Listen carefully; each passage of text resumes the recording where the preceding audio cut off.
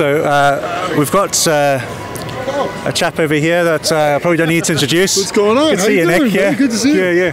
What's I don't. I don't think. I think the last time I saw Nick was uh, 2016 Worlds Botswana. Yeah. And maybe I don't know if I've seen you since. No, probably not. No, it feels like I do because I see you on Facebook every Yeah, day. every once in a while. So anyway, Nick, how's it going? You doing the Masters Worlds this year? Doing Masters, doing well. Yeah. Just uh, excited. Good, Those elbow sleeves are going to make a big difference in that event. Yeah, awesome. I have to. I have to ask. Obviously, being in the states, are you used to this heat? Yeah, I'm from Las Vegas, so Yeah. it actually just started cooling down at home. It's been the Okay. 80s, almost 90s, just but two weeks ago. Yeah. So it just got down to the 70s this week, so it's like right back to normal for me. It's just not quite as humid. Yeah. But I'm used to the weather. Good, good.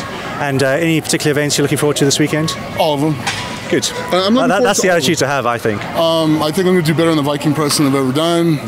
Uh, the farmer's walk, I, I usually do fairly well at that. Yeah. I got a world record in it, so um, I, I to do okay in that. Uh, the deadlift, my hips feeling better. I was able to pull 705 for 4 getting ready for this, so it shouldn't. It's just hitting the ladder quick. That's good. Uh, the medley kind of brought four different pairs of shoes to try to test on the floor Yeah. to see what'll work for the floor because I think the difference in that's going to be who sticks to the floor and who doesn't Yeah, yeah. um, on the distance that that, that the car Yeah. gets pulled. I hope you're listening at home there because these are a lot of the technical tips that are the make or break in a, in a contest. And that's the difference between when there's one or, one or two points between first and second. That's what really makes a difference. Yeah, in 2013 at the Olympia, we had a very similar load and drag medley. And I specifically went out the night before because I saw the floor and bought a pair of tennis shoes for it. And I ended up getting second. Brian's the one who beat me in the medley. You know, and I'm only 300 pounds and I'm beating Yeah. guys that are 400 pounds Yeah. just because I stuck to the floor better.